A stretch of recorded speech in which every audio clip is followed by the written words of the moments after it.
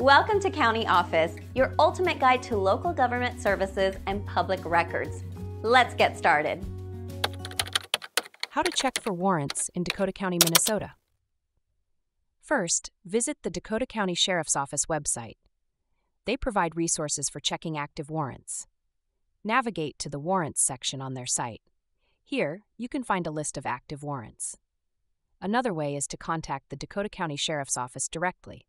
You can call them at their non emergency number.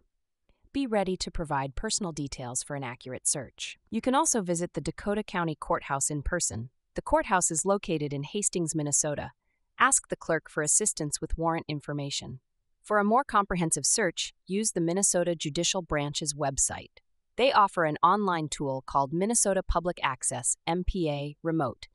This tool allows you to search for court records statewide. To use MPA Remote, go to the Minnesota Judicial Branch website. Click on Access Case Records, and then MPA Remote. Enter the required details like name and date of birth. Keep in mind some information might not be available online. In such cases, contacting the relevant office directly is your best option. If you prefer a more private method, you can hire an attorney. Attorneys have access to detailed databases and can provide accurate information.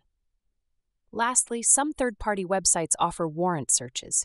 These sites may charge a fee and vary in reliability. Always verify the information from official sources.